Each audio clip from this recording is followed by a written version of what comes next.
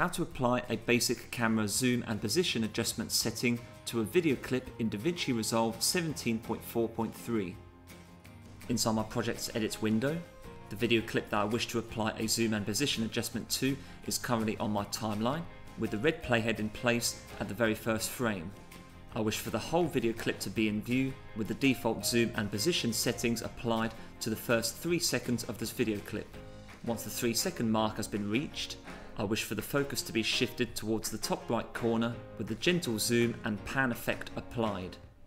After the 2 second transition is complete, the updated zoom and position settings will be applied to the rest of the video clip so that we maintain focus on the inspector section of the edits window in DaVinci Resolve.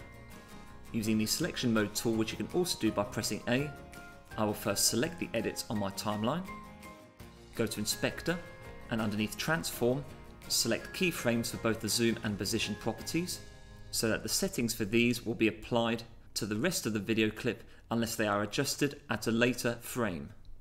Now select and drag the red playhead to a point further down the timeline to where you wish for the zoom and panning transition to start from. You can also hold in K and tap L to shift the red playhead manually once to the right, or hold in K and tap J to move the red playhead to the left. Now select the same keyframe diamond icons next to zoom and position once again to apply these particular settings to the 3 second mark. I will now drag my red playhead to the point on my timeline where I wish for the zoom and panning effect to be complete by. In this case here it will be at the 5 second mark.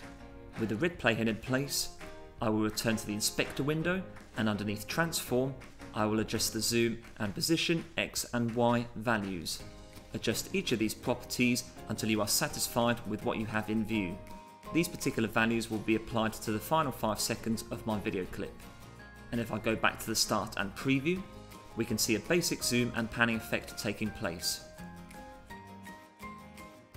The background music in this tutorial is provided by the proud channel sponsor Audiio, a link to the company's website, and to one that will provide a discounted purchase of a lifetime supply of music and sound effects can be found in this video's description box. Thank you very much for watching, I hope that video was useful to you. If you enjoyed the content and wish to be notified about future uploads on this channel, please like, share and subscribe. Join me soon for another video, take care.